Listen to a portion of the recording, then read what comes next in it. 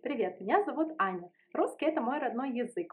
Y a pesar de que yo cometo españoles errores, me gusta mucho hablar español. Y por eso yo había hecho este canal, para hablar mucho en español y para intentar explicar ruso en español. Y hoy yo quisiera hablar de las siete diferencias entre estas dos lenguas. Por supuesto, en general existen las diferencias grandes entre estas dos lenguas, pero hoy hablo de las diferencias muy pequeñas, pero me parece que son muy interesantes. La primera diferencia, las frases con las palabras nunca y nadie. En español no se puede decir doble negación antes del verbo, pero en ruso es necesario. Por ejemplo, nunca he estado en Rusia. En ruso eso se traduce Я никогда не был в России. Y las frases con la palabra nadie por el mismo principio.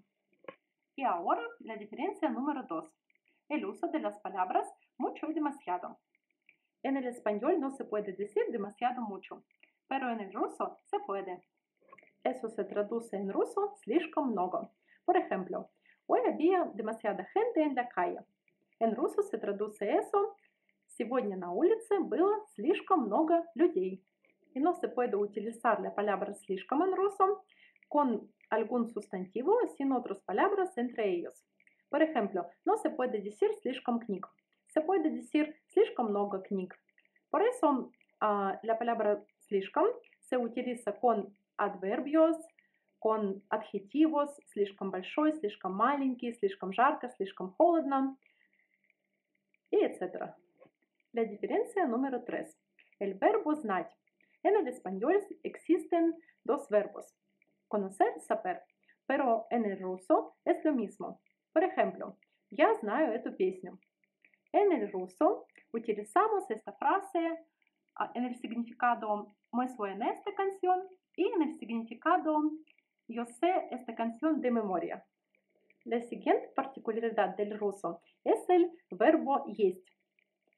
Utilizamos en el significado я хочу есть, tengo comer, y en el significado у меня что-то есть, tengo algo. Por ejemplo, tengo una vaca, у меня есть корова. La siguiente diferencia es el verbo заниматься. También utilizamos en dos significados. ¿A qué te dedicas? Чем ты занимаешься? Es como кем ты работаешь. Y um, en el significado ¿Qué tú pasas todo el día de hoy? Чем ты занимаешься сегодня весь день? La siguiente diferencia es el verbo oler. Existen en ruso dos verbos пахнуть и, por ejemplo, мне нравится нюхать цветы.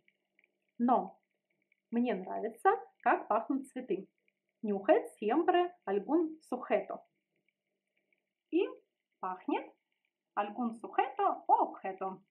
Y terminando, yo quisiera decir que en cada lengua existen muy bonitas palabras. Me ha venido a la mente en español la palabra luciérnaga y también me gusta mucho en ruso la palabra Божья коровка, Марикита. Y yo quisiera terminar este video con una frase en ruso, дорогу осилит Jordan.